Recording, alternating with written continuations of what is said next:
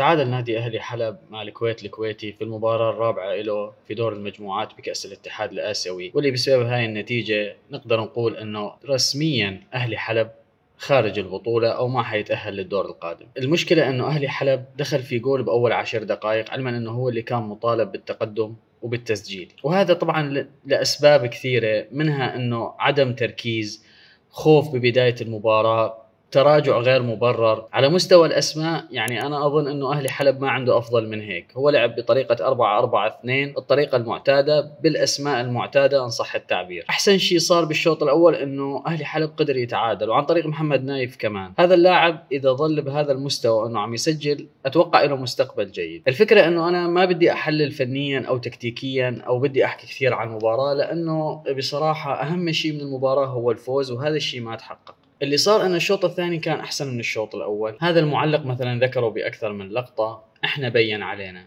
تعرفوا ليش كان الأهلي بالشوط الثاني أفضل من الشوط الأول؟ لأنه بصراحة فريق الكويت الكويتي ما نو فريق قوي ولا إنه أفضل من أهلي حلب لكن الأهلي كان أقل منه أو أسوأ من الكويت الكويتي فلذلك إنه إحنا ما قدرنا إنه نتقدم ونفوز. الشوط الثاني كنا أفضل لأنه لعبنا لعبنا. اللعب اللي نحن متعودين عليه ثقافتنا الكروية اللي نربي عليها الناشئين والأشبال ونربي عليها أبناء الكرة السورية إن صح التعبير. طلع كرة طويلة لقدام سقطها ورا المدافعين شوط من برا المنطقة العب العرضية كيف ما كان وصلت لرأس المهاجم ممكن يسجل ما وصلت خلص ارجع. من أفضل الشغلات اللي صارت أنا اللي شفتها بالمباراة هي بصراحة مشاركة أنس الدهان لاعب عمره 17 سنة. هذا العمر حاليا على مستوى العالم هو العمر اللي يبرز فيه اللاعب واللي ممكن إنه تنصقل موهبته ممكن إنه يحترف ويطلع ويتعلم كرة قدم صحيحة.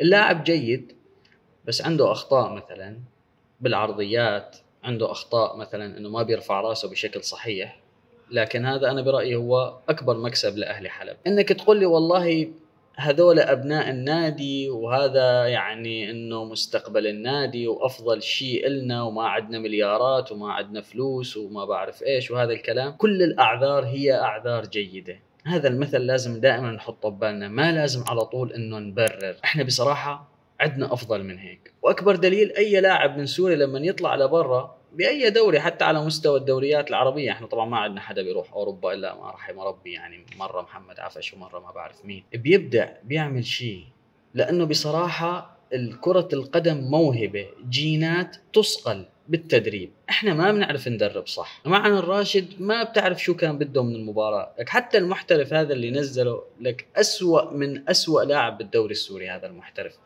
من وين جايبينه؟ ما بعرف. أنا بصراحة دخلت هذا الفيديو بس إنه من باب الدردشة من باب إنه إحنا لازم نشجع بعض أكثر لازم هاي البلد تنهض رياضتها.